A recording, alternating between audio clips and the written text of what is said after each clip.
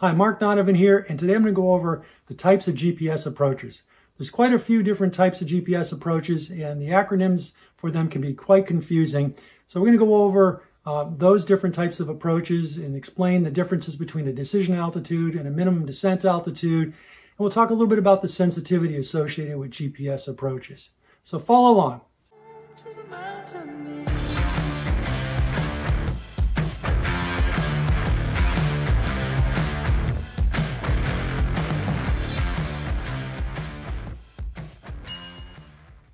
Okay, types of GPS approaches explained.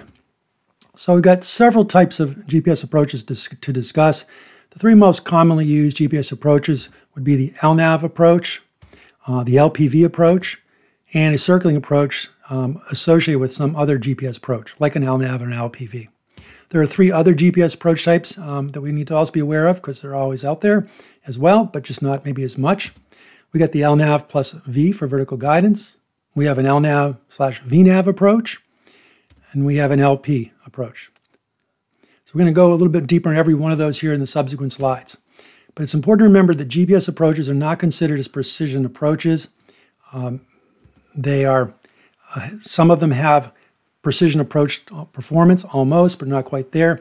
The LPV and the LNAV VNAV approaches have decision altitudes similar to an ILS approach, uh, but they're still not considered um, by the FAA um, to be actual precision approaches. Before we go into those individual approaches, we want to talk about the GPS approach sensitivity. Um, with a localizer, um, an ILS approach localizer, the sensitivity increases as you get closer to the runway. GPS kind of has to approximate that. So the general um, design of a GPS approach is that when you're beyond 30 nautical miles out, and if you're flying um, the center line on a course to a runway, um, the the width of the sensitivity is two nautical miles either side of the center line of that inbound course. Once you get within 30 nautical miles, that sensitivity um, increases to one nautical mile either side of the center line. And then when you get to within about the final approach fix, the sensitivity increases to about 0.3 nautical miles, or actually 3.3 nautical miles either side of the center line. And so your LNAV and your LNAV, VNAV type approaches have this type of sensitivity. Uh, but notice the runway there, that the sensitivity is not increasing as you get there. It's staying 0.3 nautical miles away. away. And that is one of the reasons why it's the LNAV's approaches are not considered precision. If we look at the next figure here, we see that we've got um, this kind of tapering toward the runway in terms of sensitivity. So again, beyond 30 nautical miles, it's two nautical miles either side of centerline sensitivity. Uh, within 30 nautical miles, it, sensitivity goes or increases to one nautical mile either side of centerline. And then at the approach fix or near there, it goes from 0.3 nautical miles either side of the centerline and continues to shrink down in sensitivity all the way down to 350 feet either side of the center line at the runway threshold. So these are for your like your LPVs and LP approaches and are very similar to the ILS uh, approaches. So let's go deeper now into all these different types of approaches. We have the LNAV approach. Uh, LNAV stands for lateral navigation. It has an MDA or minimum descent altitude associated with it. And this is the minimal altitude that you can descend to.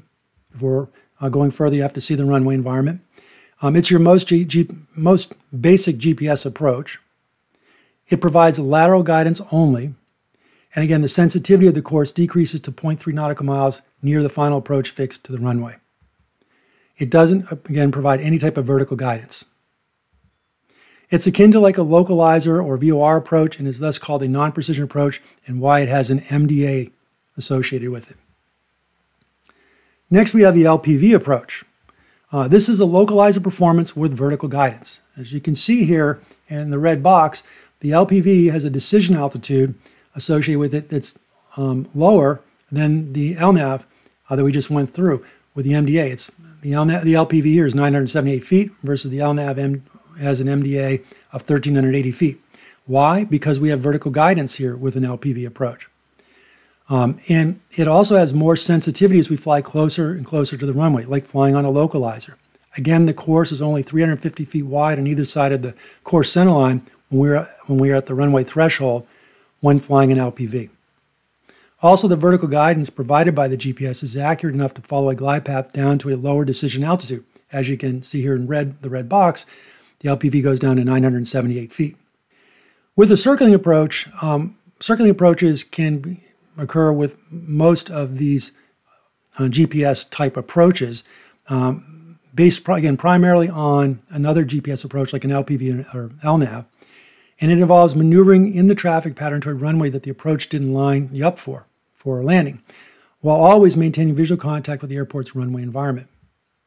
So as a result, circling approaches have higher minimums associated with them than the LNAV or LPV approaches. Next, we have the LNAV plus V approach. The LNAV plus V approach is a lateral navigation approach with advisory vertical guidance. It's not considered an FAA or Jeppesen approved GPS approach. Um, if an airport doesn't have an LPV approach, you may be able to reference a glide path on your avionics, your GPS avionics, as you fly that LNAV approach in. The GPS units um, have to have WAAS enabled feature or be equipped with WAAS enabled, um, and they're, they're what simulate a glide path for advisory purposes only. Uh, but since an LNAV approach doesn't offer LPV minimums, you can't fly the LNAV to a, a decision altitude of your choice. You must fly it down to the LNAV um, MDA that's on the um, instrument approach procedure.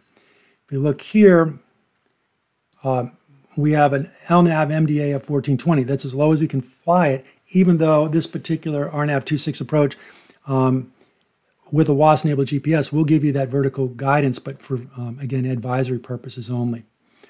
I also should just mention, when we mentioned WAAS enabled, uh, WAAS um, allows for more precision in the GPS information that's being provided uh, to the pilot and the aircraft, and it involves looking at the GPS satellites um, getting some error correction information um, up basically down toward ground-based systems, and then those ground-based systems sending back up to the GPS receivers some error uh, code information, and the GPS receivers in the aircraft being able to take those error codes and utilize them to give you more precision on your GPS system.